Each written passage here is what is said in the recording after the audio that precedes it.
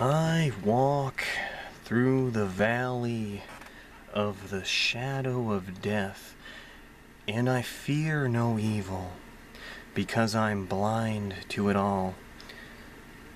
Hello, Lori.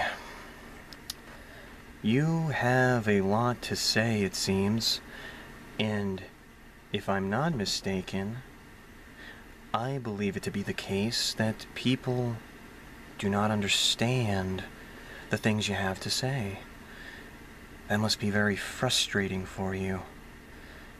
It must be agitating to have so much to say, but so few people to hear it, right? So few people to come and see what it is you have to say, the things you have to espouse of the commandments and of ascension, of casting out, and of the I am, the great I am, the mighty I am. Hmm.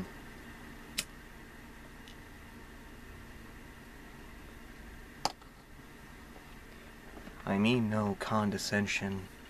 I mean no ridicule. I am sure that in your time and experience, you have undergone your fair share of that. These are trying times. Some might say crazy times. Pestilence is surely working its ass off, as it were, and that can be very intimidating, if not scary, for most people. But is it scary for you, I wonder? I'm not so sure. You appear to have a certain conviction when it comes to the things that you believe. That is to say, if you actually believe them. You know, I once encountered a man, two, actually, while working. They approached me. They spoke to me.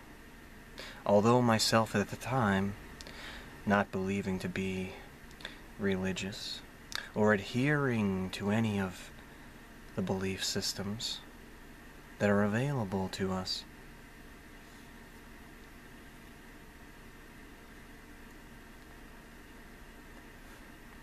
I too find myself trying to explain things to people, trying to articulate, if only I could say it in a proper way,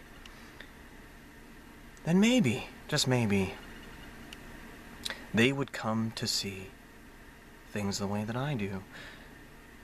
And I do not believe that you are much different in that regard. Right? What happened to your dog, Lori?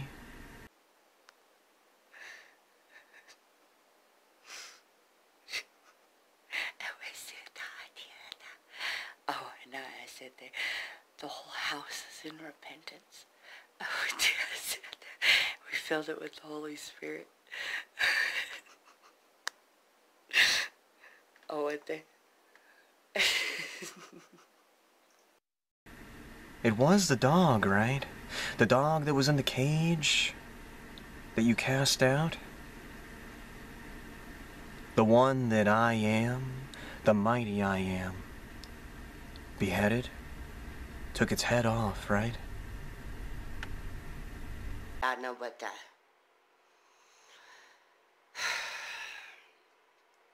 There is a millstone coming. Oh, I thought I see the there. We cast Kali out. Oh, and God Almighty took her head, took its head. Uete had to pull her out from three children. Oh, what? I said that. It is, it did, and I did, and I did. She got locked in a cage. Oh, and, and, uh, and I took her out of the house. Oh, was in it what that? And cast her out. As soon as she hit the ground, God took her head, and thus with violence shall Babylon be thrown down. Oh, what is that not day? I thought not what day. I took on the mother of hell yesterday in Jesus Christ's name. Oh, what is that I would for the children. Name. See, the gates of hell will not prevail against the church. I am the church.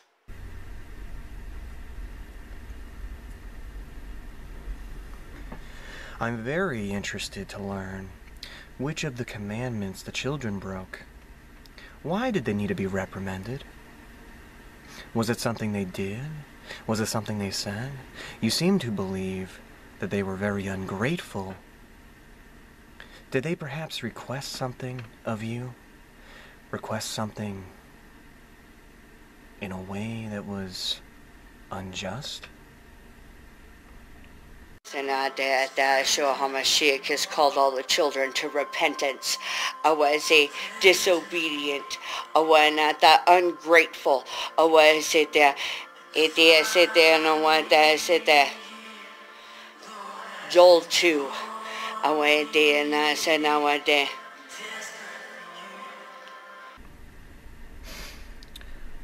What is the milestone, or rather the millstone, as you refer to, that will be coming soon? I was the, the furthest thing from it. I was sit there, uh, there, sit there, and I'm going to prove it. Last thing Jezebel said to me was, oh, I'm more blessed than you are. I have a house. Oh, I have a husband. Oh, Let's rock and roll because I have a millstone ready for Jezebel. That you want people to see. Are you planning your ascension? I do believe, if I'm not mistaken, that not only were you intending an ascension for yourself, but for others. And I can't help but think to myself, with all the talk of lamb's blood. The blood of the innocent, is it? Or am I mistaken about that as well? Hmm. Perhaps. And maybe it would be for the best if I was mistaken, and if this was just a farce, as I believed at first those two men to be. But these men who approached me, the one man spoke to me and asked me where my pain resided. He wanted to pray for me, Lori. He wanted to help my pain subside, to vanish, to be vanquished by a higher power. I think much like myself, like you, there is the belief of a higher power, the one you refer to as the great I am the teachable children of Anandia have been forgiven. O Asa, and will be taken with us. O Ananda Sata.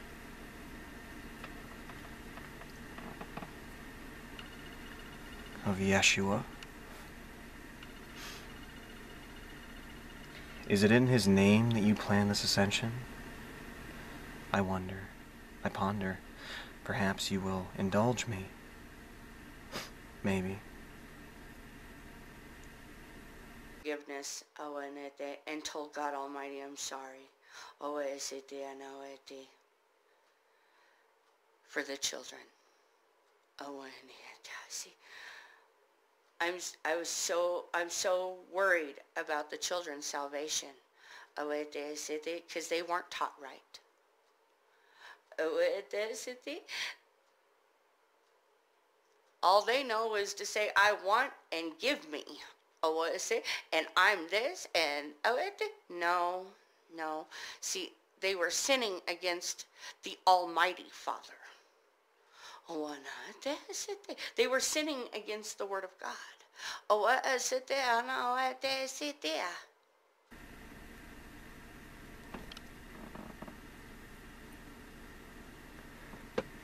You have a lot to say, Lori.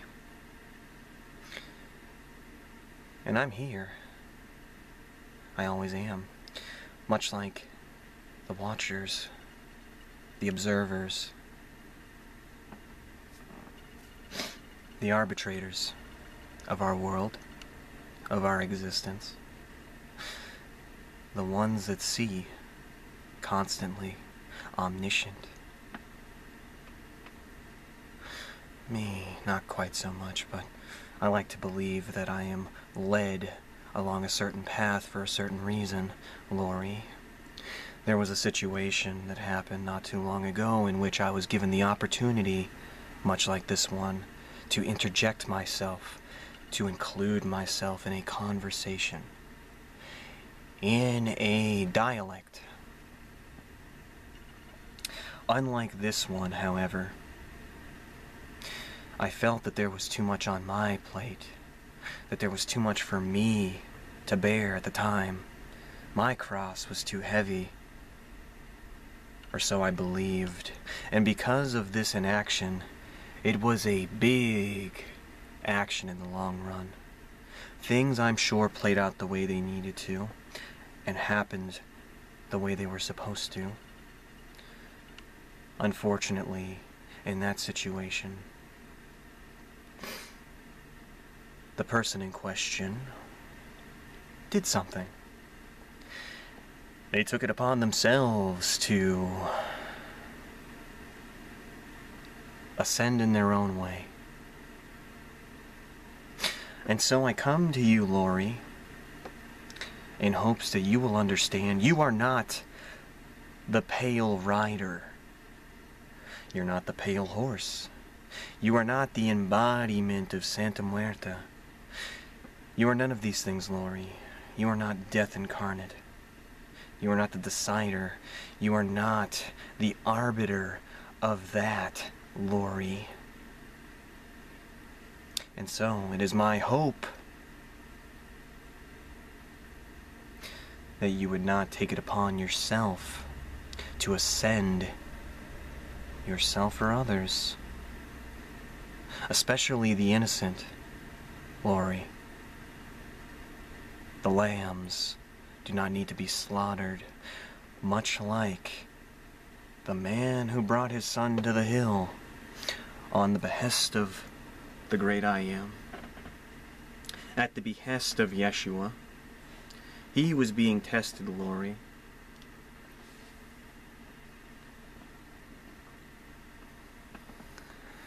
We're all being tested, Lori.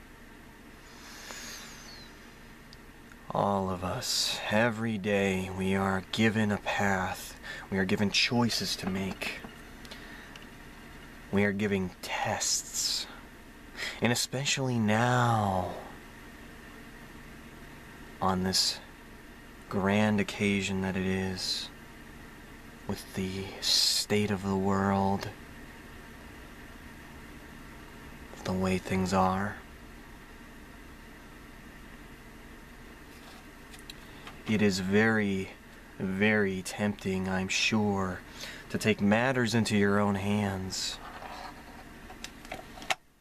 For the greater good, perhaps, in your mind? What is it like in your mind, Lori? I'm sure many people have given you advice on how to handle what it is that you believe, on the courses of action that you need to take. Family members, mothers, fathers, brothers. Surely there is someone else in your life other than the girls, other than the children, the lambs, that has spoken to you. Not just the I am, not just Yeshua, not just angels or demons.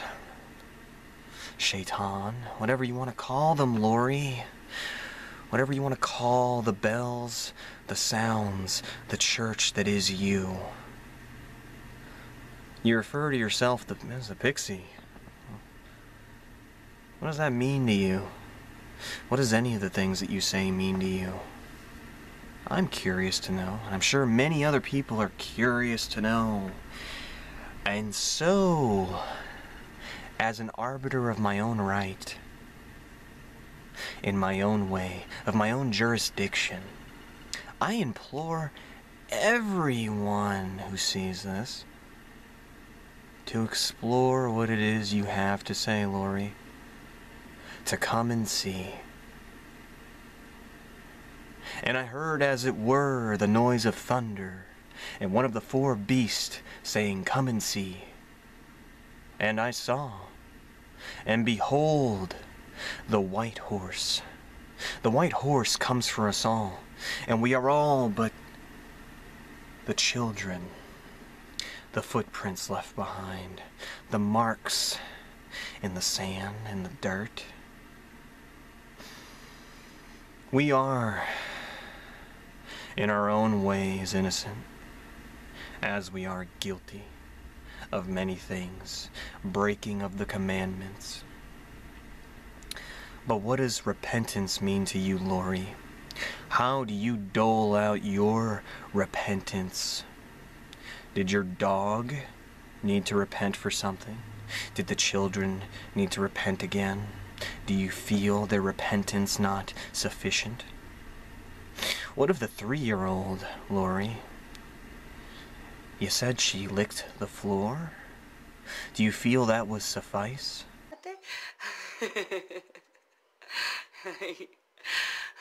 I am Ghost. Please tell them what you were saying. Oh, is it? To Collie every time she tried to have Harley do something.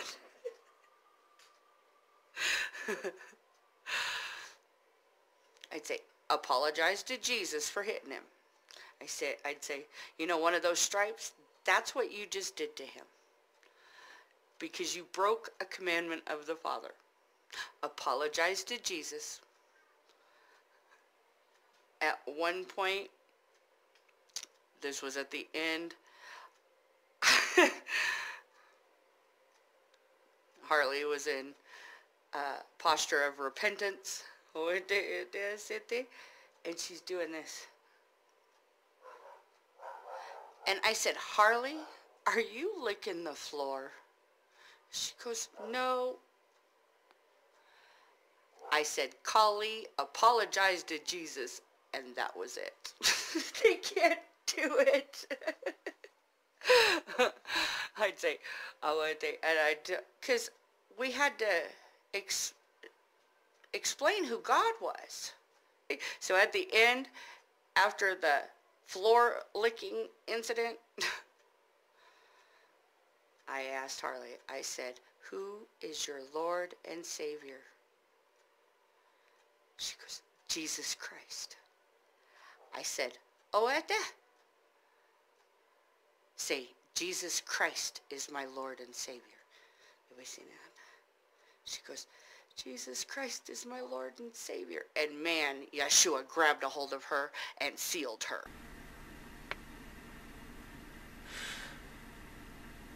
Who am I to say what is right or wrong? Who am I to judge you, Lori? That's not what this is about. This isn't about judgment. Not on my part, not on my behalf. If you were to be judged, well, that's not my place. But I was guided to you, Lori. I was brought to see. Just like the other situation that I mentioned. It is now, at this moment, the 22nd, 322 of 2020.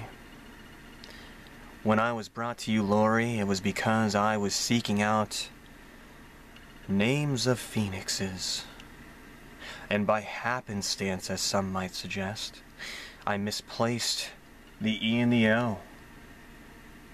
It's funny, isn't it? So did you. In the video that I was, well, rather that was brought to my attention, it's probably about seven months old. The phoenix talks about the fires of resurrection in Yeshua's name, right? That is what brought me to you, Lori. Brought you to my attention, to my observation, much like the observers, the watchers, those who are omniscient. Whether that be Yeshua, whether that be God, Allah, the angels. As some might say, La ilaha illallah Muhammad Rasulallah, There is no God but God. And Muhammad being his messenger, an arbiter of God. There are many arbiters of God, and they serve many purposes, Lori. And I believe that I serve my own purpose, much like you. But I also believe that as humans, as beings of this world, we are fallible, Lori. If not in the actions we take, then the interpretations in the message that we are given. It took me a long time to understand the messages, Lori. And I believe that I still have a long way to go on that path, as do you. And I hope, sincerely, I honestly do, Lori, that you plan to stick around, as it were. That you wouldn't do anything brash, that you wouldn't Remove yourself or others from the equation in this ascension that you speak of. The ascension that you speak of not only for yourself but for others. And I wonder to myself, who is it you intend to ascend, Lori? What is the method of ascension that you plan? Would you care to elaborate for everyone? As soon as I lifted my head up after being dropped, having him cry over my body. I was, and I went Satan decided it was funny to blaspheme me. He blasphemed the Holy Spirit. And while I was in the Holy of Holies, which is it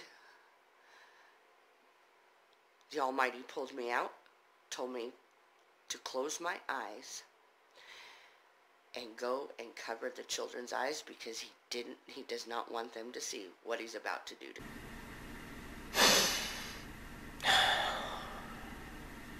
Your conviction seems strong, Lori. And in that conviction, I hope that you will indulge those that wish to understand what it is you are saying. Will you indulge us, Lori? Will you help us to understand, Lori, in a peaceful way, in a less than violent and finite way? I sincerely hope so, Lori. Not only for your sake, but the sake of the lambs, of the innocent. So, I want to talk to all the parents all parents when audacity.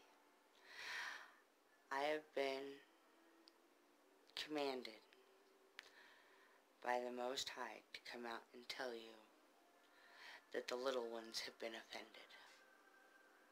Oh, audacity. See, you guys think that innocence is stolen if somebody's virginity is taken.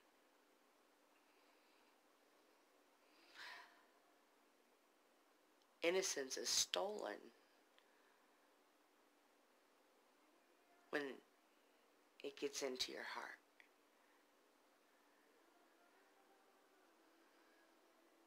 The wickedness gets into your heart. What they? The innocence of a child's heart, or the innocence of a child's mind, or the innocence of a child's eyes or the innocence of a child's tongue.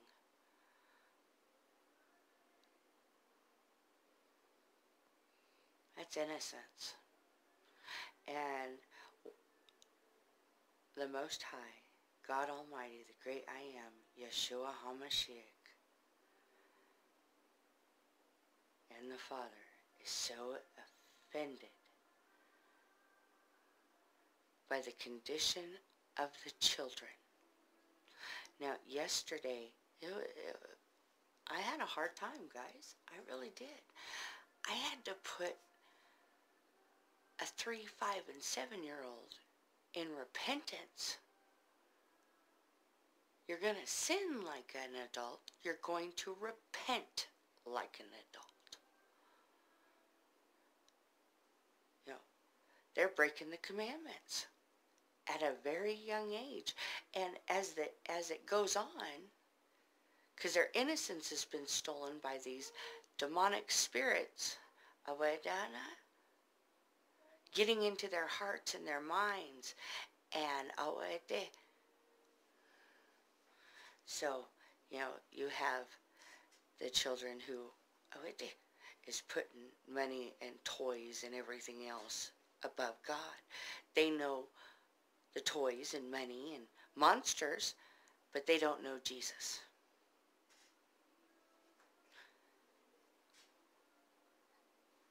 They're not listening to the parents. Oh, I say that. They're in complete rebellion. Oh, and I said that. And the sexual sin that's going on. Oh, I said in the bedrooms because of what these spirits have taught them because the parents have not taught them who Jesus is and that they're breaking commandments and they need Jesus to forgive them and wash them in the blood.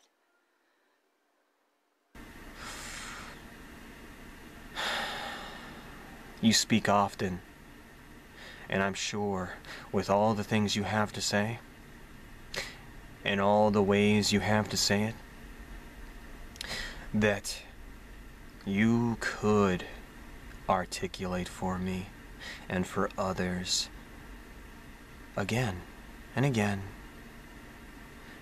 until until it's understood.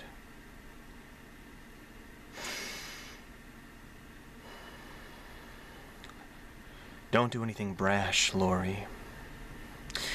Do not make decisions that you are not the arbiter of. Don't do anything to those lambs. That would be rather unfortunate for everyone. I hope that you can understand. This is not meant to mock you. I'm sure you've had plenty of that. This is of genuine concern, Lori.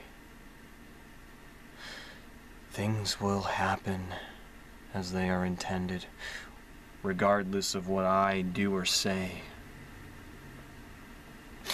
I could have come to you and said the same things that many other people have, but I don't believe you've heeded that advice. And I don't believe you would have heeded that advice should I have given it to you in that format. Rather, I am coming to you. I am having you come and see me.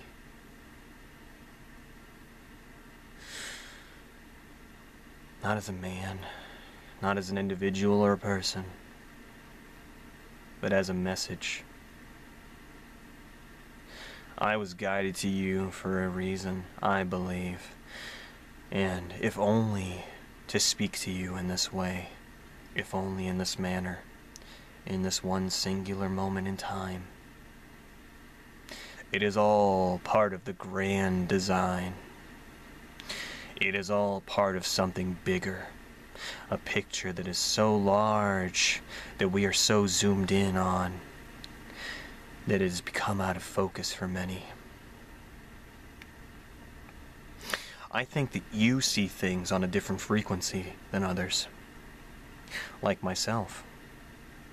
Like the few. Will not listen to the word. Oh. I don't want anyone entering into my gates. Oh, That's why I haven't revealed myself to you guys. Oh,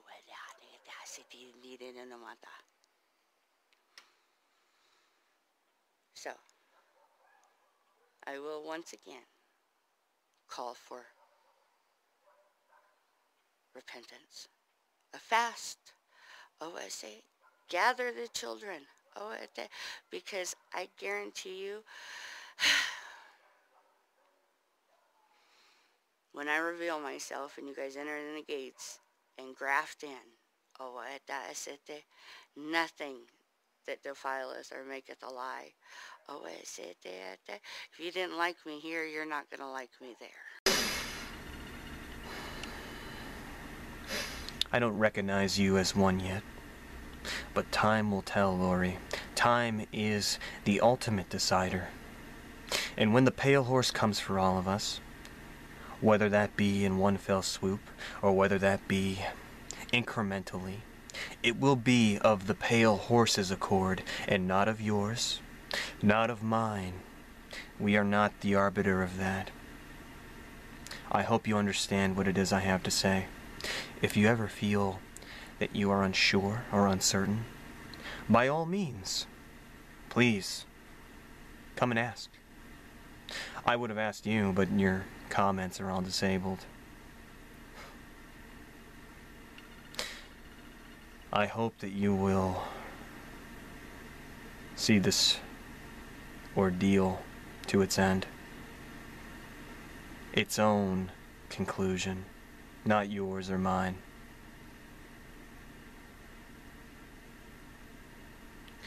Keep those children safe in this trying time. You're meant to be a protector, not an executioner.